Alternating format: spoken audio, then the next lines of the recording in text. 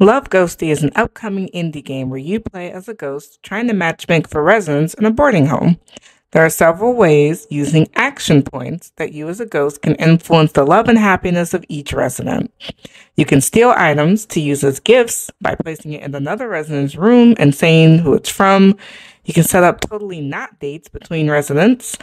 Select a specific resident to do a chore to increase their connection to all others, or buy a gift from the ghost version of eBay to place in a resident's room.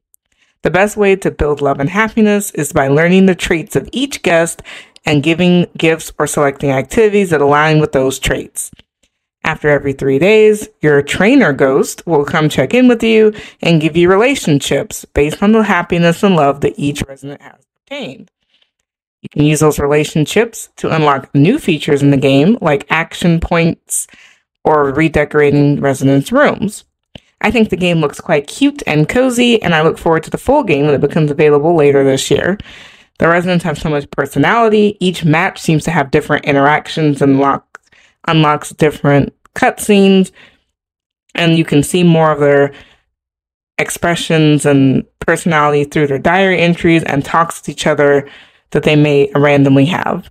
Let me know in the comments below if you've ever played this demo that's available now on Steam, and are you looking forward to playing Love Ghostie when it becomes available?